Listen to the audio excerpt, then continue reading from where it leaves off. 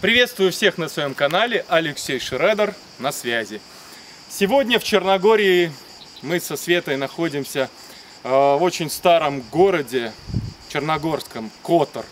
Вот там город, но его здесь не видно большую часть. Э, большая часть находится за скалой. И там часть старинного Котора, где очень-очень старые храмы, готика, там 11 век – и 15 век, э, то есть э, различных веков здания, ну в основном церкви. Сейчас мы взбираемся по горе на фортификационные сооружения, на крепости, которые начали строить еще древние римляне. Сами понимаете, как давно это было. Э, в общем, дорожка такая потаенная, зигзагами, постоянно идут стены, стена над стеной, стена над стеной. И вот такое движение. Туда-сюда, туда-сюда с небольшими возвышениями. Мы пока забрались, наверное, на одну четвертую высоты. И вот здесь, в прекрасном месте, где вид на город, я вам а, немножко теоретическое видео запишу. В последнее время стало модным а, рекламировать тренировки с собственным весом. Ну, как бы мне не совсем понятно, почему они такую популярность набрали? С одной стороны, потому что все-таки мы живем не во времена Древнего Рима, хотя и тогда использовали разные тележки, бревна и камни для того, чтобы тренироваться гладиаторы. Но у нас почему-то сейчас становится модно вот собственным весом заниматься и все. Вот принцип такой. Там, допустим, ходит транспорт автомобильный в город, а я хочу на велосипеде. Даже не то, что на велосипеде, а я принципиально хочу пешком ходить в город. Это на самом деле глупо. Я не говорю, что обязательно идти в зал, э, тренажерный, платить за абонемент и пытаться там э, железом заниматься, а с собственным весом ни в коем случае нельзя. Конечно, можно, особенно в подростковом возрасте э, или даже в детском возрасте начинать заниматься собственным весом, это прекрасно. Отжимания различного рода, подтягивания на перекладине, отжимания на брусьях, не только отжимания от пола, различного рода там приседания, выпады, просто бег, просто плавание, в общем, ну, такая активная двигательная деятельность, плюс какие-то упражнения с собственным весом. А, никто же не против, но вы должны понимать, что работа с собственным весом в начале затрагивает работу силовых волокон, которые способны прилично гипертрофироваться, в отличие от медленно сокращающихся мышечных волокон, которые не, не имеют особ, особенности гипертрофироваться, они обеспечивают человека выносливостью. Так вот, вначале, когда мы начинаем заниматься собственным весом, для нас собственный вес довольно тяжел, и происходит некоторое развитие Э, рост мышц. А потом все останавливается, вы работаете чисто на выносливость. Поэтому нет смысла полностью ограничивать себя во всем. Я не говорю чисто о тренажерах сейчас, а о различного рода отягощениях. И принципиально топать ногой и говорить, я готов заниматься только собственным весом. Повторюсь, на начальном этапе ваших тренировок, в детском возрасте, начальном подростковом, это нормально. Но далее, если вы хотите немного подкачаться, стать покрепче, приблизиться к своему максимуму в потенциале роста мышц, вы обязаны использовать отягощения, просто обязаны. Но если принципиально не хотите, это тоже неплохо. Заниматься собственным весом, не пытаться там как-то накачаться, не пытаться приблизиться к своему потенциалу роста мышц – а, ну, это как бы воля человека. Не хочет и не надо, прекрасно, тоже можно всю жизнь отжиматься. Но тогда не жалуйтесь, что вы не смогли более-менее прилично накачаться собственным весом. Я вам сразу говорю, что это работа прежде всего на выносливость. Но раз уж так пошло у вас в голове, мулька сработала, хочу заниматься только собственным весом, а, то скажу вам следующее. Вашему организму и конкретно каждой его мышечной группе все равно – собственным весом, не собственным весом. Организм при попытке наращивать мышечную массу, гипертрофировать волокна, э, учитывает только э, силу нагрузки, которая, э, которой подвергаются мышечные волокна. То есть ему все равно, вы поднимаете штангу или это собственный вес. Э, вся сложность работы с собственным весом заключается, что очень сложно наложить такую большую нагрузку с опытом тренировок год за годом, чтобы продолжать стимулировать мышечные волокна к гипертрофии.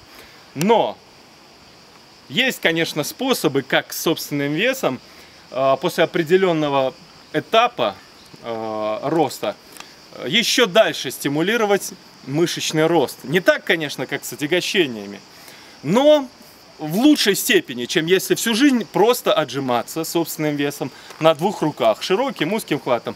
Лучше, чем всю жизнь там просто подтягиваться на двух руках. Лучше, чем всю жизнь просто приседать на двух ногах и так далее. А, в определенный момент, допустим, касательно подтягивания, вы можете начинать подтягиваться на полторы руки, скажем так. Одной рукой держитесь частично, другой рукой подтягиваетесь внутренним или внешним хватом. Эм, отжимания. Отжимания на одной руке. Так вы сможете накладывать на мышцы трицепсы и грудные большую нагрузку, чем если вы отжимаетесь собственным весом на двух руках. Количество повторений уменьшится, но нагрузка на волокна увеличится. И гипертрофия на определенном этапе тоже увеличится. Вы еще подкачаетесь. А, приседания на одной ноге, понимаете? А, в общем, на одной руке подтягивания, там, на одной руке отжимания, допустим, от скамьи, или на полторы руки какие-то называю, второй рукой немножко где-то как-то помогать. И сегодня я вам вот прямо здесь, на краю одной из стен, древних. Хочу показать упражнение, которое многие знают. И хочу вас подвести к тому, что если вы занимаетесь собственным весом, вы обязаны с определенного момента его делать. Это отжимание на одной руке. Когда вы отжиматься будете на одной руке, по сравнению с отжиманиями на двух руках, мышцы будут гораздо больше стимул получать к росту и к гипертрофии. Лучше лучше отжиматься 5 повторений на одной руке со всей своей мощи, чем отжиматься там 70-90 повторений на двух руках, там доводя там, руки до полного пампа, до полного жжения, бомбить эти бесконечные повторы, вы будете работать чисто на выносливость, если вы будете заниматься с определенного момента собственным весом на одной руке отжиматься, тогда будет мышечный рост. Я повторюсь, все равно не такой мышечный рост, как если вы будете использовать большие рабочие веса, штанга, камни и так далее. Но лучше, чем на двух руках отжимания. Как выполнять отжимания на одной руке? Элементарно.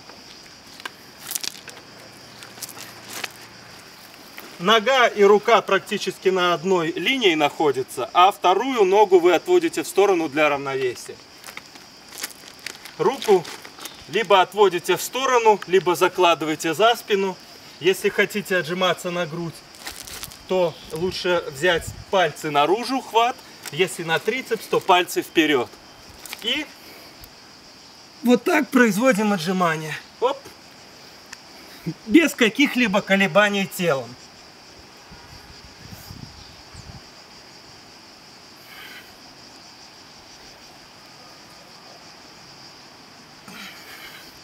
Делать нужно медленно, обязательно.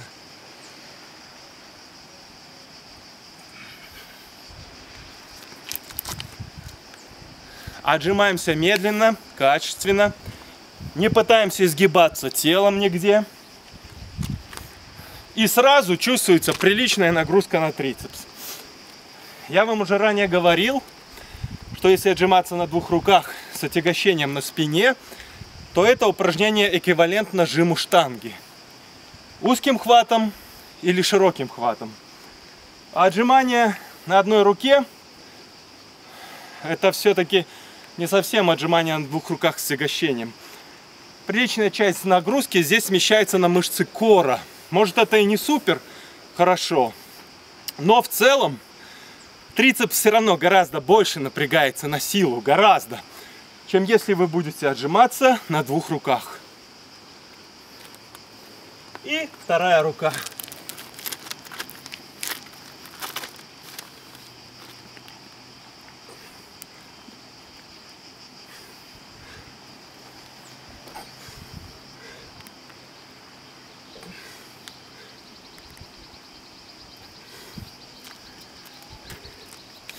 По пять раз я отжался для разминочки. Итак, друзья, обязательно, когда вы начинаете много отжиматься на повторы в разовом подходе, переходите на отжимания на одной руке. Ну и тогда гипертрофия мышц продолжится. А мы со Светланой продолжим скарабкиваться на стену. Всем пока!